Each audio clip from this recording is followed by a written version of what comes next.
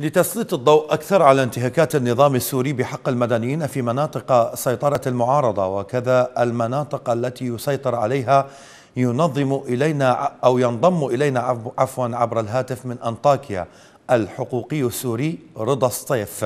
أهلا ومرحبا بك سيد رضا. أسعد الله أوقاتكم سيدي الكريم.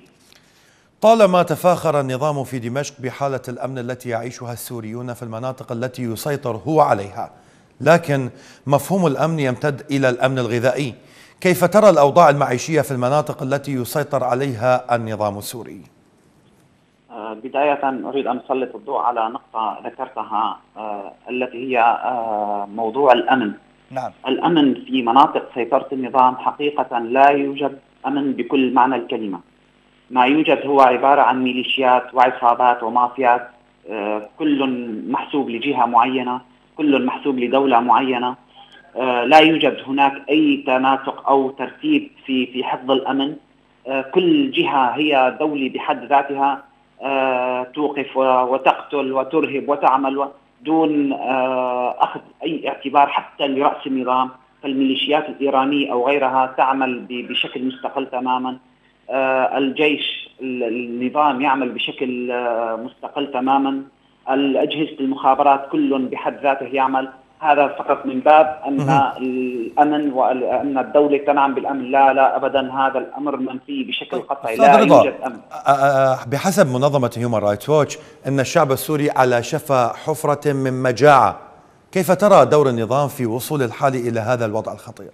نعم سيدي الكريم. الدولار في اليومين السابقين وصل ما يقارب الخمسة آلاف ليرة. هذا نعم. يعني أن التضخم وصل لمئة ضعف.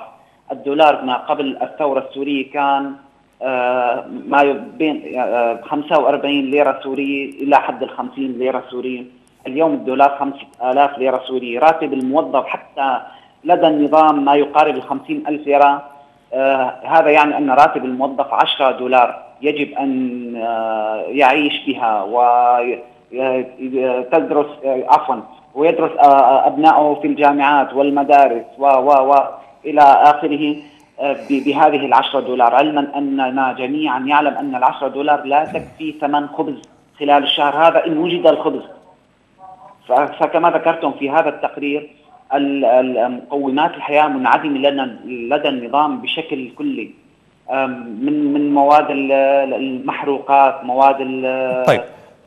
هنالك تقارير أيضا تشير إلى أن هنالك ما يزيد أو ما يقرب من 400 ألف مدني محرومون من الرعاية الصحية آه، ما هو سبب إصرار النظام السوري على قصف المستشفيات؟ آه، نعم فقط أريد أن أن أتابع بموضوع نقص المواد والأغذية في في مناطق النظام بأن الناس في مناطق سيطرة النظام هي في حال لا توصف بكل معنى الكلمة هي بحاجة لكل شيء هي بحاجة لكل أنواع الغذاء والأدوية هي بحاجة لكل أنواع لكل مقومات الحياة أما بالنسبة لموضوع المستشفيات فهذا الأمر كان منذ بداية الثورة السورية أن يستهدف النظام الحاضن الشعبي نعم نعم. يستهدف المرافق المدنية والصحية وال والأفران والمرافق الخدمات المدنية للمدنيين. حتى يكون الضغط على الحاضن الشعبي أكثر من المناطق العسكرية. فكما ذكرتم في التقرير كان آخر استهداف هو لمشفى الاتارب الذي يخدم آه، تقريبا نصف المنطقة المحررة. نعم, آه نعم. واستشهد من استشهد وأصيب من أصيب به. من أنطاكيا الحقوقي السوري رضا الصيف كنت معنا. شكرا جزيلا لك لانضمامك إلينا.